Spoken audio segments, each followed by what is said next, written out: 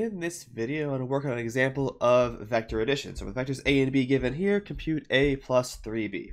So one way to do this is work out what 3b is first. So 3b just means I'm going to multiply each component of b by 3. So the minus 2 will become a minus 6, the 4 becomes a 12, the 1 becomes a 3, the 0 is a 0.